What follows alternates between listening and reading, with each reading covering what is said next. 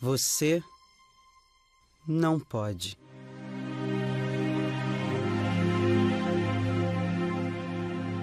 Você não está pronto. Você não vai acertar.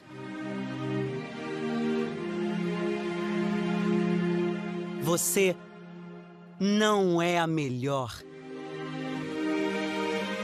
Quando o mundo diz não, é que começa o maior dos desafios. Por uma bandeira, pela honra, para deixar a sua marca. Em julho, na Globo, arenas se tornam templos, humanos se tornam heróis. Vitórias que são para sempre. Direto do Japão, 200 horas de emoção. 200 horas de superação. Para despertar o melhor de nós. Olimpíada de Tóquio 2020.